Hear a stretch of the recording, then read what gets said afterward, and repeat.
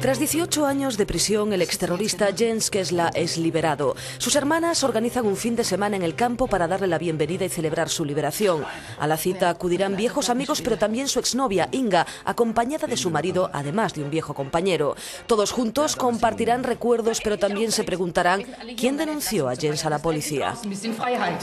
Und dir fällt nichts anderes ein, als diese alten Scheißgeschichten wieder rauszuholen. Dich nicht gebeten, diese Leute einzuladen. La película ha sido estrenada en Berlín. La actriz alemana Katia Riemann interpreta el papel de Inga, la expareja de Jens. Es una chica muy diferente a mí. Tuve que acercarme al papel, pero al mismo tiempo llevarlo hacia mi terreno. Al final te quedas en el medio. Pero con los años que llevo trabajando y actuando es algo que conozco. Es el desafío de un papel. Es algo duro de hacer porque siempre te preguntas si al final lo conseguirás o fracasarás.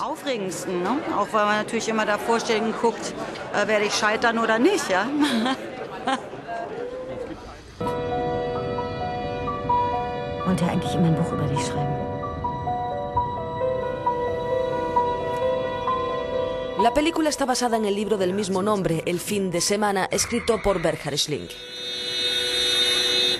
Manches fällt weg. En esta versión se han anulado algunas partes, pero se han añadido aspectos. La película es menos política que el libro, se centra más en las relaciones de las personas. Los actores son fantásticos.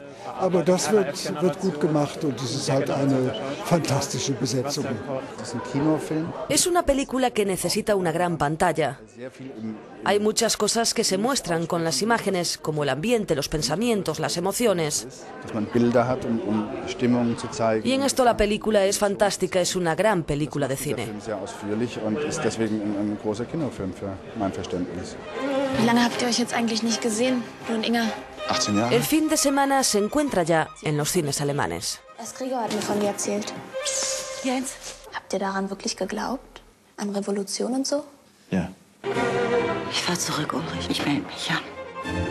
An mich wird man sich erinnern. An dich nicht. Ist ganz banal. Ihr wart Killer. Jens ist weg. Nicht mehr aufgetaucht. Ja, ich war dabei. Und ich bin raus, als es ans Kill ging. Damit du dich an mich erinnerst.